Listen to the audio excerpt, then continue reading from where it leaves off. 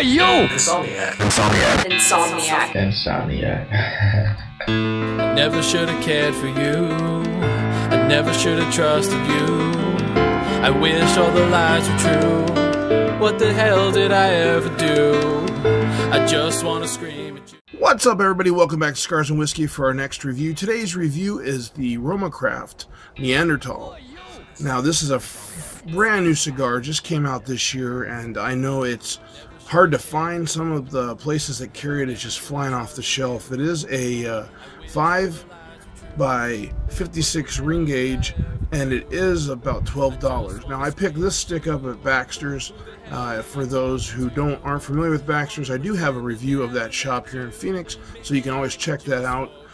As you can see, the, the cap of the cigar is quite flat. It almost reminds you of the CAO flathead lines that they have because that's how they did that's how they've done their caps. The wrapper of the Neanderthal is a Mexican San Andrés.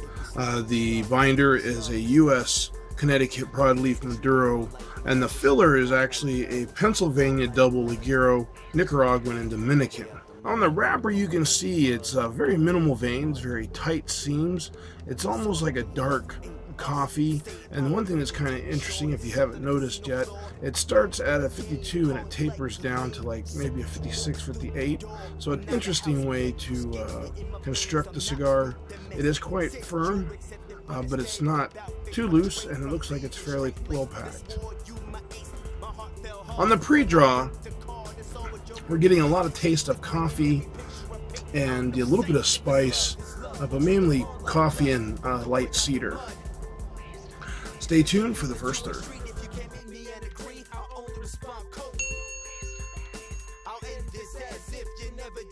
Into the first third of our Neanderthal, we're getting a lot of dark coffee, earth, and red pepper. And more of the red pepper on the back of the palate. And then also we notice a lot more red pepper on the retrohale.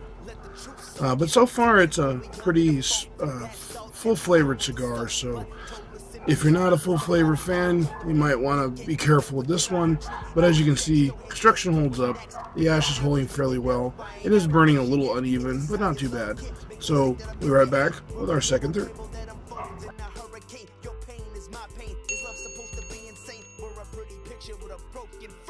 Welcome back, everybody, for our second third of our review of the Neanderthal by Roma Craft. Into the second third, uh, the chocolate is still predominant, uh, and the red pepper is starting to come a little more uh, towards the front of the palate, making it like a, little bit of a spice. It's almost like a spicy uh, chocolate uh, sauce or a hot cocoa or something like that. And then we are noticing uh, there's a lot of red pepper still in the tongue, so it is kind of a more spicy cigar, but I do like it. And as you can see, the ash holds up pretty well. The construction is just phenomenal. Uh, it doesn't, it isn't burning as razor sharp as you like, but it's still a really good cigar. So we're right back for our final third.